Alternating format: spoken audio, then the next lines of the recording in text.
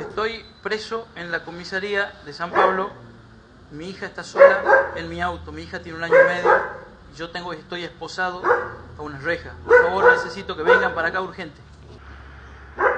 Comisaría de San Pablo. Comisaría de San Pablo.